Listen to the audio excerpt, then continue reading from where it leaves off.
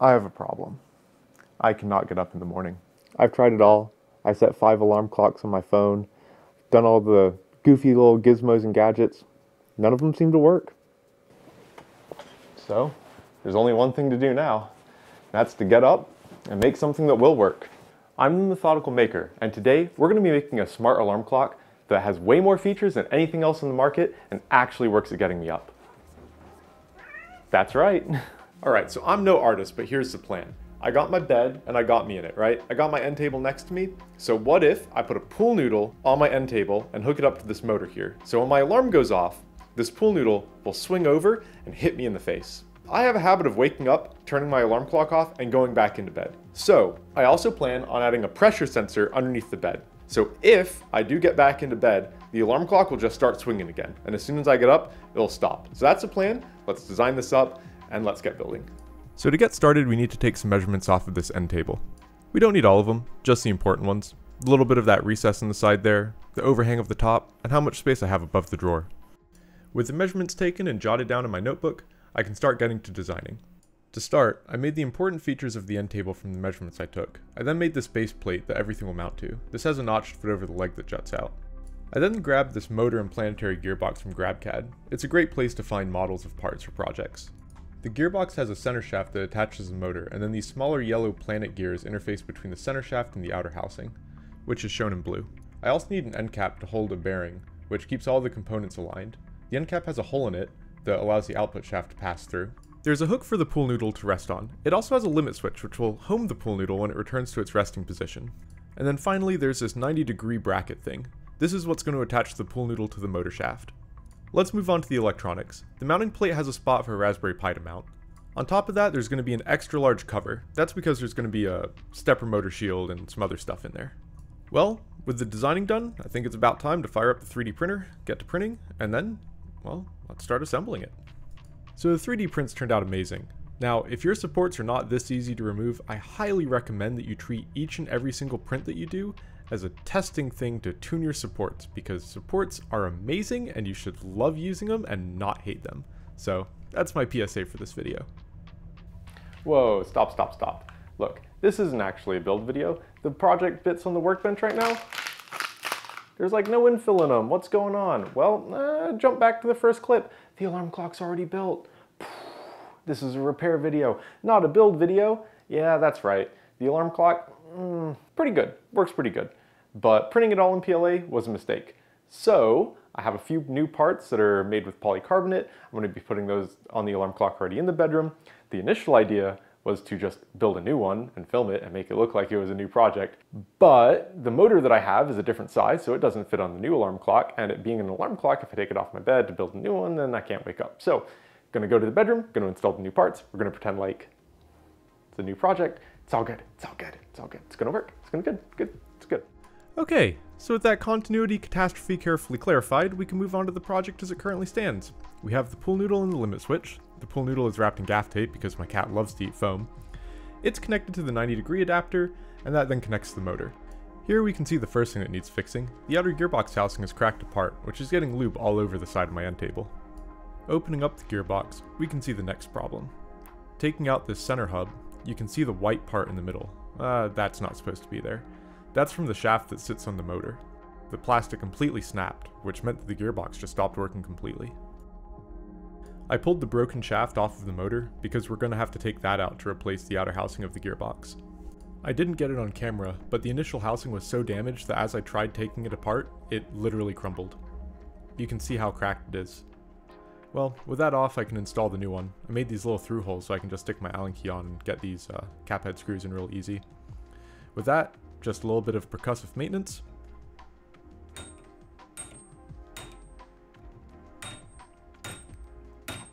And with that, the motor shaft's back on. The secret to having 3D printed gearboxes last is to make sure you lubricate them. I'm just using some silicone super lube. I really struggled getting the planet gears and the carrier back in, so I'll just fast forward through all of that. With that, I can press this nut in, and then I can screw the gearbox cover into the rest of the gearbox. And with the gearbox cover on, the only thing left to do is reattach the pool noodle, and that's it. The mechanics of the project are pretty much all done. So with that, let's move over to the electrical. To be honest, the electrical is pretty simple. It's just a stepper motor board that sits on top of a Raspberry Pi. Because the shield takes over all of the GPIO, I also made this little circuit board. It just acts like a hub for all the switches and pressure sensor to connect into, so that way if the stepper motor board fries, I don't have as much problems rewiring it. As far as the code, it comes down to two components. There's a library that controls the stepper board and then the code that actually does the alarm stuff. I'm pretty sure I got the library to control the board from the manufacturer's website, Waveshare, uh, if I was to do it again, I'd use an actual microcontroller that can talk like I2C. Their library does a thing called bit banging, which is basically where it sets the GPIO on the board high and low, which can be affected by system timing. Not ideal. Just pause the video if you want to see all the code, I'm only going to cover the important bits. So for this next part, ignore all the stuff up top here where it says boring stuff, we're only going to be looking at the bottom section. So the pressure sensor that I put under my bed is basically a variable resistor, and that's slightly problematic because the Raspberry Pi doesn't have an ADC, which is how you read analog values on a microcontroller. Ideally I should have used something like an ESP32 that does have an ADC and also has Wi-Fi, but I didn't know that at the time. Okay, so we can't read analog values, only digital values, ones and zeros. So what do we do? Well, we can put a capacitor in line with our variable resistor, our pressure sensor. And a capacitor is basically like a little bucket that fills up with voltage. So we can turn on a tap that lets some voltage through that will pass through our variable resistor, which will speed up or slow down the flow depending on the resistance. That voltage then builds up in the bucket, and we can look at the bucket to see how long it takes for the bucket to fill up. More pressure on the pressure sensor means lower resistance, which means the bucket fills up faster. It looks like our bucket's pretty close to getting full. At this point, we've detected that the bucket's full, and we can move on to the next part, which is emptying out the bucket and doing it all over again. We do this 50 times, storing the value each time. We then average those together, and then we compare that to some threshold value. If the time it takes is lower than the threshold, that means someone's in bed, and if it took longer, then it's probably just the weight of the mattress. We have some more boring code like connecting to my smart home and the functions to define the movement of the arm, but then we get to the real meat of it.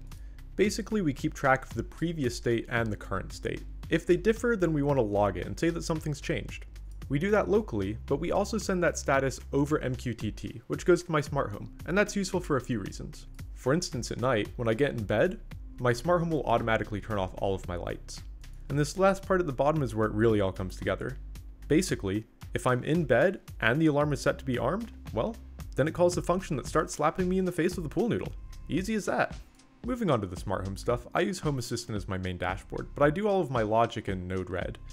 So on my dashboard I just have a status for if I'm in bed, that's used for debugging, and a toggle button for if the alarm should go off on the weekends. Moving on to Node-RED, the first thing we need to do is look at my phone alarm. I'll look at the next time it's supposed to go off, and that is when this alarm clock is based around. No annoying UI or anything, literally just the alarms app on my cell phone.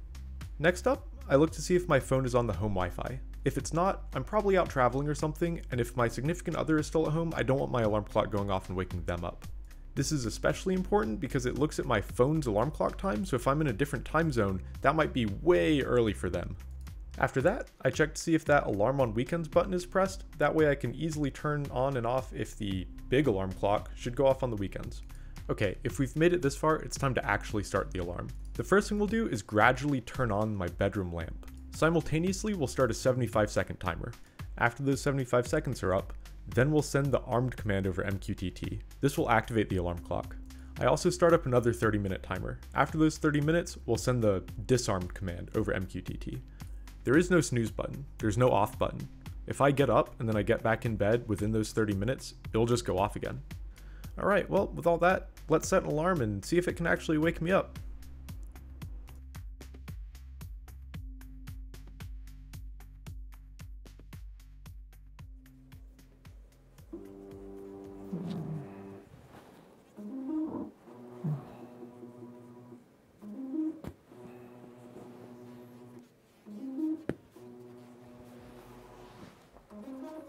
Yeah. So that's pretty jarring. You know, it doesn't hurt, but definitely gets you up. And sure, I could roll to the other side of my bed and just pretend like, you know, it's not going to hit me anymore. But I made this. I made a promise to myself that when my alarm goes off, I'll get up. And that's what a lot of alarm clocks are missing. They just go off and then you can hit snooze. I didn't make this. It was just on my phone. Why am I going to listen to that? I'll definitely listen to this.